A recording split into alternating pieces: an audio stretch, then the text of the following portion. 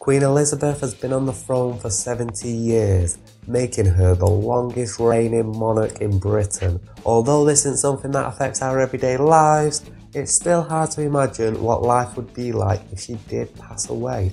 After all, if you're below the age of 75, you won't even remember life without her as the Queen. More so, not just what will happen after she dies, but what will happen in those first initial days. Such a high profile woman like this there's got to be something planned, right? Well, that's what we're going to be talking about today because you are watching Not So Clueless, where I'm going to tell you 10 things that will happen once the Queen dies. Number one, the code. Every royal has a code for when they die so the information don't get leaked to the wrong person or too soon.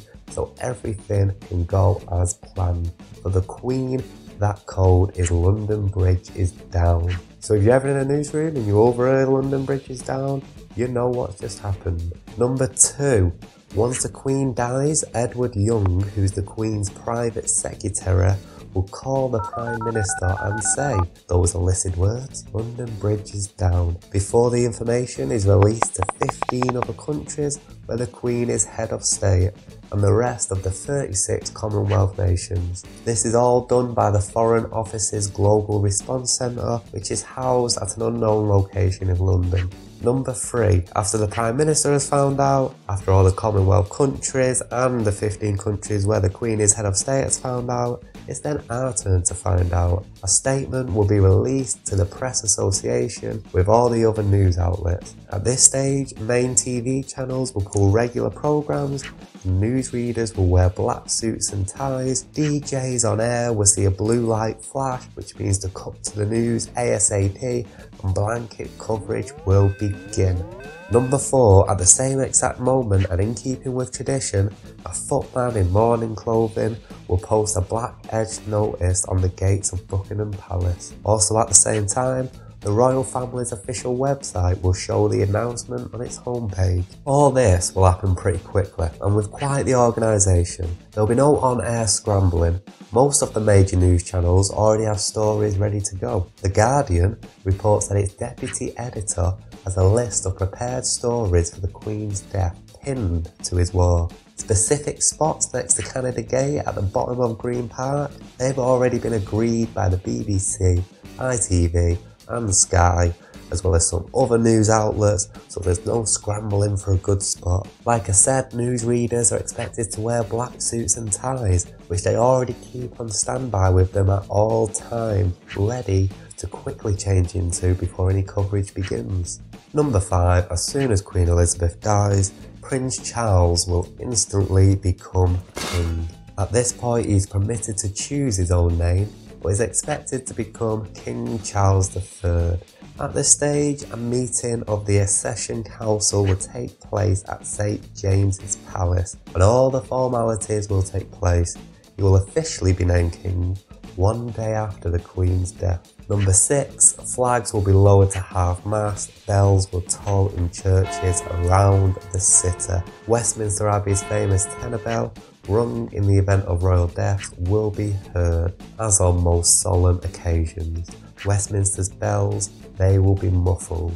Number seven, the nation enters a 10 day period of mourning before the funeral. For a number of those days, the body will remain at Buckingham Palace so the family can spend time together.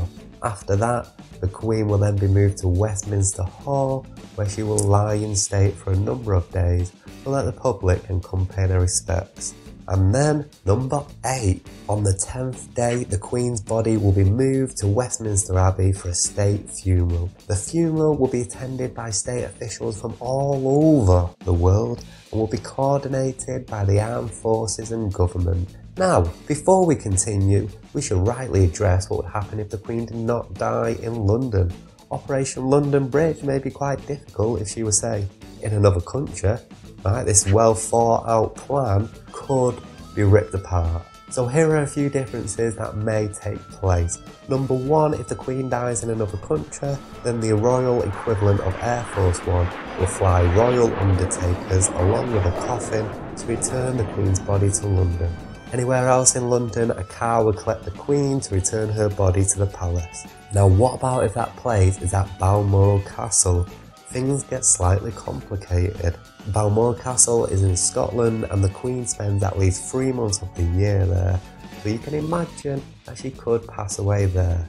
If that was the case, the body would be moved to Holyrood House in Edinburgh and then carried up the Royal Mile to St Giles Cathedral for a funeral service. By then, the public will be notified and will likely line up to throw flowers at the royal train, which would carry the body back to London for the burial service.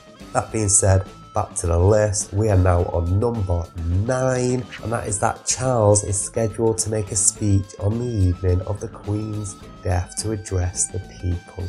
A speech that for everyone at a certain age is going to remember. That'll be one of those things where people say, Where were you? Where Charles gave his first speech as king. Number 10.